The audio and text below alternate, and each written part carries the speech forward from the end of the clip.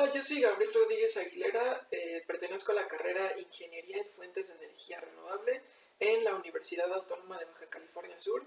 Eh, soy del eh, primer semestre del grupo B y en este video yo les voy a hablar acerca de un proceso termodinámico que se llama proceso isotérmico. Y como su palabra bien lo indica, iso que significa igual y térmico significa temperatura, esto nos quiere decir que siempre va a mantener la misma temperatura durante todo el proceso. Y bueno, eh, ilustré aquí un pistón, el cual nos ayuda un poquito más a entenderlo en la vida real, cómo funcionaría. Y aquí tenemos un pistón, el cual sería un contenedor. Obviamente tiene una parte que se puede mover arriba y abajo. Eh, este pistón tiene dentro un gas ideal, eh, el cual no puede ni salir ni entrar, no puede entrar otro gas. Eh, porque es un sistema cerrado.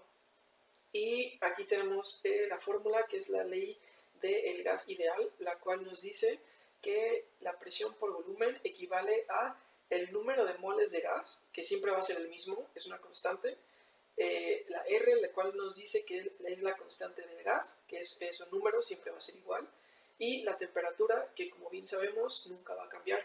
Entonces, eh, podemos obtener de aquí que la presión por el volumen eh, siempre nos va a dar el mismo resultado.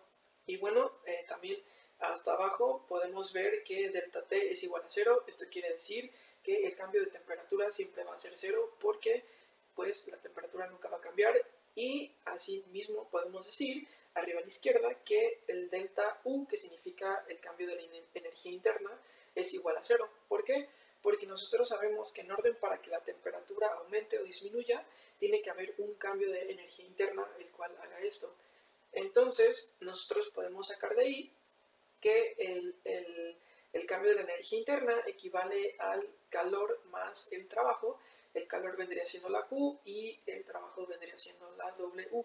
Eh, como el cambio de energía interna es cero, nos podemos despejar la ecuación y nos daría que eh, 0 es igual al calor más el trabajo, el cual eh, previamente nosotros conocemos que esta es una ley de la termodinámica.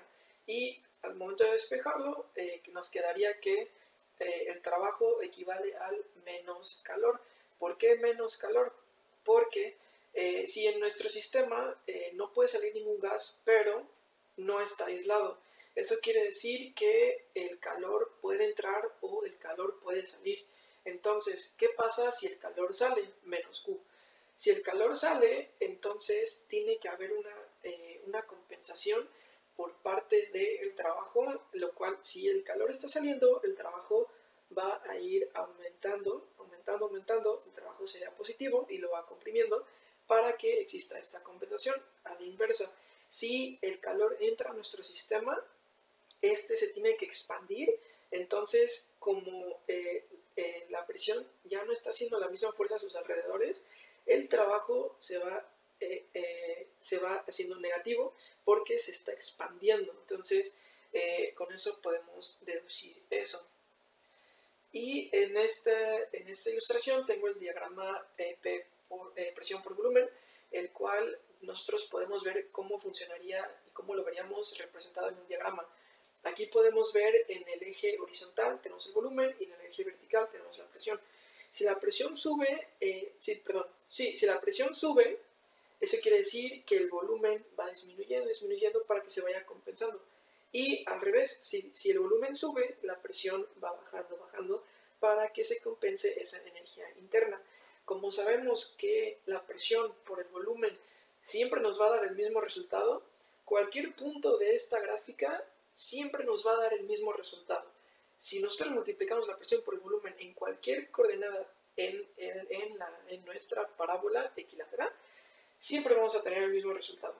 Entonces, de ahí podemos deducir que la presión 1 por volumen 1 va a ser igual a la presión 2 por el volumen 2.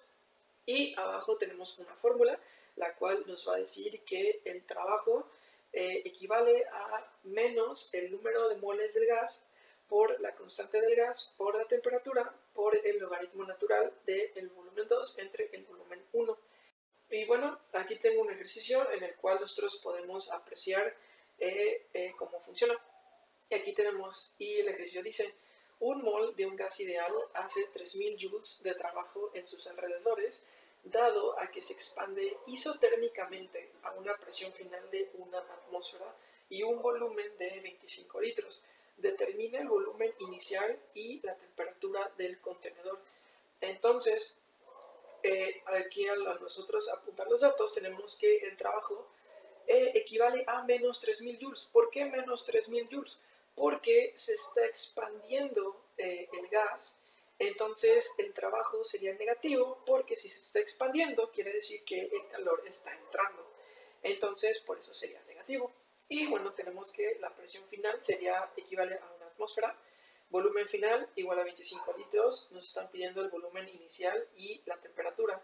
Y nosotros con nuestras fórmulas que ya vimos podemos realizar esos cálculos.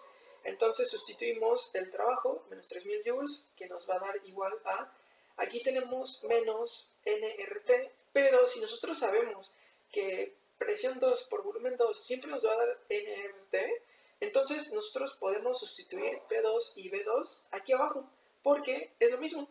Entonces nos daría a menos P2 por V2 por el logaritmo natural de V2 entre volumen 1. Entonces, bueno, aquí no podemos tener los dos negativos, entonces los multiplicamos por 1 los ambos lados de la ecuación, lo que nos daría que estos signos negativos se cancelan y se convierten en positivos. Y bueno, aquí nosotros tenemos que despejar el volumen 1. Eh, pero para poder hacer eso tenemos que deshacernos del logaritmo natural. ¿Cómo nos deshacemos del logaritmo natural? Sencillamente multiplicamos los dos lados de la ecuación por el exponente. Entonces, hacemos los resultados, nos quedaría 3000 joules entre presión 2 por volumen 2, eh, y que nos, eh, nos daría volumen 2 entre volumen 1. Entonces, esto nos daría que volumen 1 es igual a volumen 2 entre 3000 joules entre presión 2 por volumen 2 y eso se multiplica por el exponente. Entonces, ¿qué sabemos? Nuestro volumen 2 son 25 eh, litros. Eh, nosotros tenemos que transformar toda esta ecuación a números porque el exponente no funciona con unidades.